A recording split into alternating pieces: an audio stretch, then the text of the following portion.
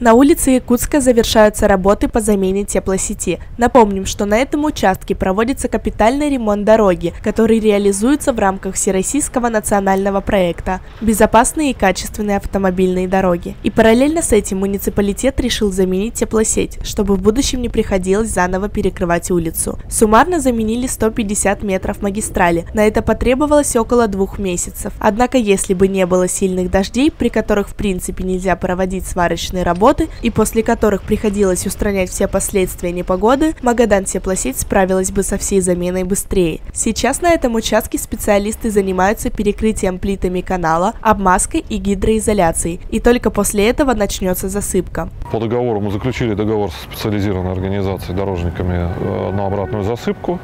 Ну и этот вопрос, да, будет под нашим контролем. А здесь дорожники будут сами выбирать это время, потому что они подстраиваются под свои работы непосредственно, когда, что они будут здесь а, заниматься асфальтированием.